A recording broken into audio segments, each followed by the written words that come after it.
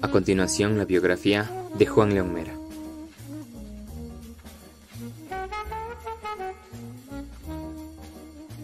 Juan León Mera nació en Ambato el 28 de junio de 1832 y falleció el 13 de diciembre de 1894.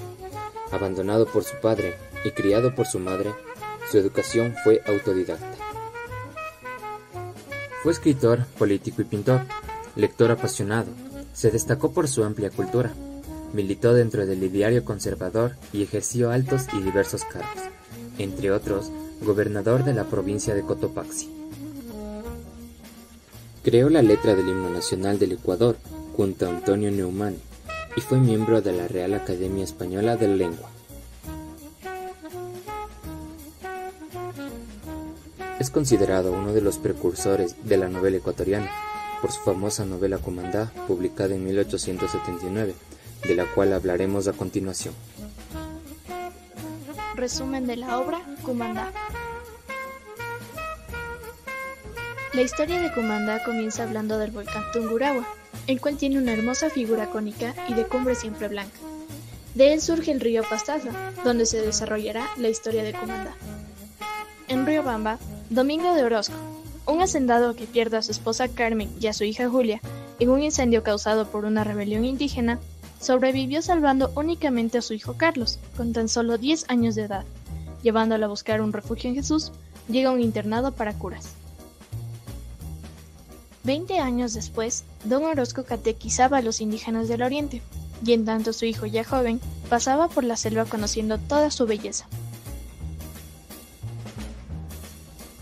Cierto día, vio una joven muchacha de hermoso físico, ágil, ojos claros y de largo cabello. Su nombre era Cumandá, que quiere decir patillo blanco. Cumandá era hija del jefe indígena Tongana, cabeza de nieve, y Pona, la hechicera. Tenía además dos hermanos que nada se parecían en lo físico ni en lo espiritual a ella. Eran todo lo contrario. Odiaban a los blancos, pero ella la amaba. Carlos y Comandá se enamoraron perdidamente. Era un amor puro. Los dos se sentían atraídos y habían escogido un lugar en donde dos palmeras crecían entrelazadas. Era el símbolo de su amor. A pesar de que Carlos amaba intensamente a Cumandá, no podía tocarla, ya que era una de las vírgenes del pueblo, y debía permanecer así hasta la fiesta de las canoas, porque si no, Munya, el mal de la selva, la iba a castigar. Ya que debía participar en la fiesta de las canoas, decide que Carlos la acompañe, aún arriesgándose a los peligros de la tribu. Los hermanos de Comandá se dieron cuenta de que Carlos estaba ahí, y varias veces quisieron matarlo, pero Comandá siempre lo salvaba. Su padre se entera del romance entre Comandá y Carlos, y la obliga a casarse con Yaguarmaki. El gran jefe Yaguarmaki era un viejo enfermo, el cual acepta que Comandá sea su séptima esposa. Decide ir en busca de Carlos, tomando una canoa, y al llegar al otro lado del río, se da cuenta de que Carlos no estaba, pues lo habían tomado prisionero, y decidieron dar a cambio a Carlos por Comandá. En la luna de miel, Yaguarmaki muere por un ataque de otra tribu. Como es tradición, Comandá tenía que morir para acompañarlo en su muerte, pero su madre la ayuda a escapar. Después de lo ocurrido, Comandá y Carlos se encontraron en un lugar en el cual intercambiaron llantos, promesas, amor, entre otras cosas. Antes de morir, Comandá entrega a Carlos una bolsita de piel de ardilla. En ella se encontraba el retrato de la madre de Comandá, que era la esposa de Domingo de Orozco y madre de Carlos. Al saber la noticia, trataron de hacer algo positivo, pero ya era tarde. Comandá había muerto. Una confirma la verdad. Comandá era Julia, la hermana de Carlos. Todo era el resultado de la venganza de los indígenas hacia Domingo de Orozco. Semanas después, Carlos decide acompañar a su amada en el sueño de la eterna paz, para que no se sienta sola en su muerte. Análisis de la obra Cumandá. La forma de expresión de la obra es prosa, la escuela es el romanticismo, el género es narrativo y el subgénero es la novela. El narrador de la obra es omnisciente, ya que está afuera de ella, por lo tanto, narra los hechos en tercera persona y conoce lo que hacen y piensan los personajes.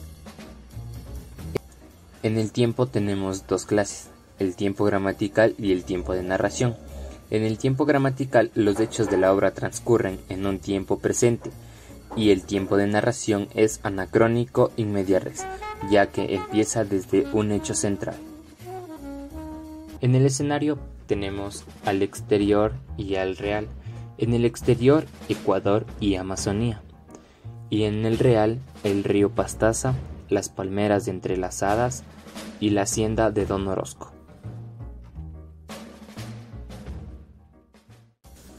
En los personajes tenemos los personajes principales y los personajes secundarios. En los personajes principales tenemos a Comandá y a Carlos Orozco.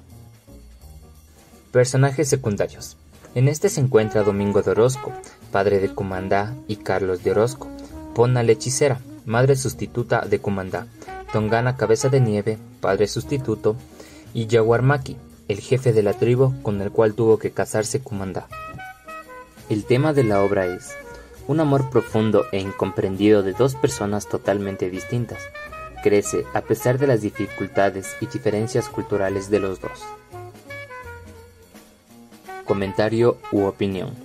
La obra nos demuestra que a pesar del racismo, la xenofobia, las batallas, el odio y la venganza, los seres humanos siempre tienen espacio para los buenos sentimientos, el cual nos motiva a realizar buenos actos pese a que la circunstancia obligue a lo contrario. Comanda además nos deja una gran enseñanza, como es que todas nuestras acciones tarde o temprano tienen sus consecuencias y que no importa lo que hagamos, estamos condenados por nuestro pasado incluso nuestro castigo puede pasar a nuestra descendencia, ya que no hay peor cosa en el mundo que ver sufrir a nuestra familia.